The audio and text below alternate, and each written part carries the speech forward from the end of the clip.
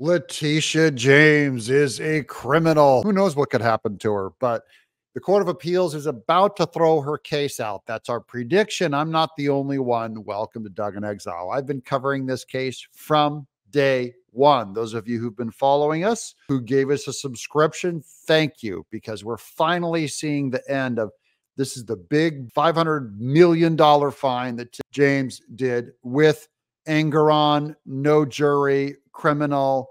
Here's some detail. So the Trump fraud case went before the appellate court this week. And by the time it was over, the closing arguments of the Democrat lawyers was just them begging to not get sanctioned. Not get sanctioned or disbarred.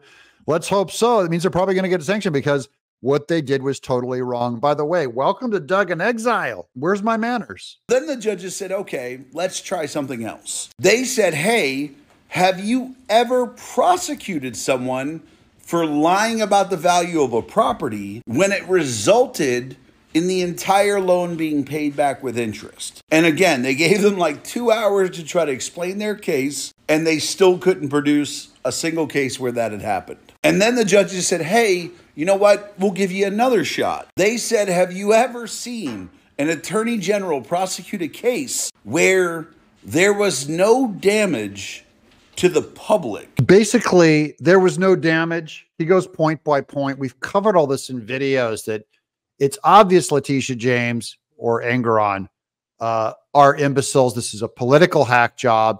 I'm shocked the appellate court is going on the side of Trump and calling them out, going, This is stupid. So now the judgments are in case. We're going to show you proof that Letitia James is washed up. She's not going to be able to keep doing her job. That's my theory on it. Here's Travis. Happening now, the Trump team went before the appeals court in the civil fraud case with Letitia James in New York. And the appeals judges couldn't understand why Letitia James brought this case in the first place. These are Democrat judges. They're going, What are you doing here? They continuously asked her legal team for examples of anyone ever bringing a case like this before and even insinuated it must be political. In closing arguments, the James team spent a bulk of their time begging not to be sanctioned for weaponizing the justice systems. We I want sanctions, I want prison time. Justice. Or this will happen again. Will the media report on this? By the way, no, they're not. Google this right now. Go to Google and look up Letitia James and Trump. Put that in the search. It's buried so far down. All of the news is about Letitia James pursuing TikTok. They buried it. They buried it. They're hiding it because that's how big of a loss this is for Kamala Harris, the Democrats, the Department of Justice, corrupt Joe Biden, corrupt Jack Smith, and corrupt Engoron, weirdo, nudie Engoron. Trump was right about you guys all along. And you had all of the legal analysts, the analysts over at the New York Times saying Trump doesn't have a case. He can't do this. All the Midas touch guys who are all lying to you on YouTube. That's right, Midas Touch. You're liars. You're gonna get you're gonna get reversed on this. One. They're all going like, "There's a case. There's a case." No, there isn't a case.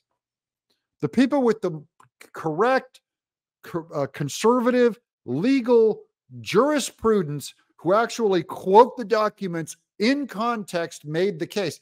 And I would turn against Trump. I would say Trump was going to lose this one if I thought he was going to lose this one. This one was always a fraud. Here's and Miles Cheong barely a peep about this in the press. I wonder why. I can't fully explain why they did the full burial on it, but they are doing the deepest dive burial on this one. They want this story to go away, and it has to do with the campaign.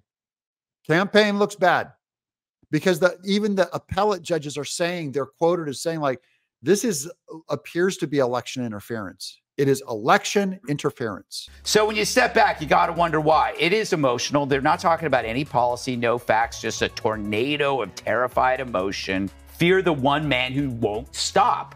And he doesn't care. If you're truly radical out there, if you're an honest to God rebel, okay, how can you not be in favor of Trump. Oh, yeah. If you're a radical rebel, for Trump, let me know in the comments below. Are you still on board? Are you still amped? Are you still fighting? Or have you given up on America? Have you given up? Come on, guys. It's just getting good. The tides are turning. That was Greg Gutfeld from earlier this uh, this year. I'm going back to CPAC with Trump. I'm going to all these quotes now because this is the old. I'm go, I'm going to call out all the people back there who were lying to you. We'll do more videos on this. I'll bring up all their wrong videos on who was lying to you because we got this one right. I'm a barely literate comic book artist, and I know more than legal analysts at the New York Times. You guys should hire me, a barely literate comic book artist, to do your legal analyst for you because I got this one right and your prognosticators are getting it wrong for your readers. What a terrible value your rag, your yellow rag is.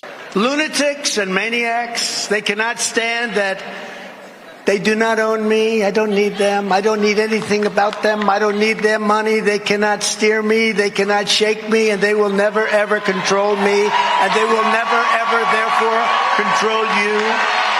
They're going to try to control you. And now we're going to go to Jessica Tarloff from earlier this year, what, what she said about this too. That that quote drives her crazy. Since Donald Trump ran the first time, he has been making this argument if they could do this to me, they could do this to you.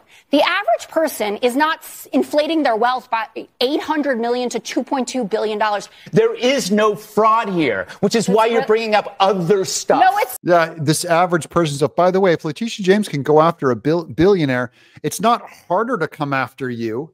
It's easier to come after you. Where does she get? Where? Why would she think that it's harder? Going like, oh well, you're not a billionaire, so you don't have to worry about what happened to Trump. No, I do have to worry about all of us do a million times more because we don't have the money even to pay for our own defense counsel. Jessica Tarloff, you moron. This stuff should terrify the average American. Every New York businessman, if you're voting Democrat, uh, you do deserve to be uh, uh, politically prosecuted by Democrats, and you will be. Uh, the headlines Letitia James versus Andrew Cuomo for New York mayor. Could it happen? That's one day ago. In short, she's running for mayor because she lost. This is such a scar on her record. This is such an embarrassment for Letitia James. She's chickening out and running for mayor. Trump prosecutor Letitia James is reportedly mulling a run for mayor, even though her Trump fraud verdict could soon be thrown out. Oh, not could be, is going to be thrown out. It hasn't been thrown out yet as of my recording of this, but it's as good as thrown out because I'm right. I hate being right all the time. It's miserable being me. Look at my band-aid on my my nose. Letitia James losing the war against Donald Trump, says a legal analyst and lawyer who twice grilled Trump in New York fraud case, now helps lead a 14 state war on addictive TikTok. So she's going, Look, everyone, look over there. I'm not losing to Trump. I'm going to go take on TikTok. Here's Gutfeld. They tried to arrest him.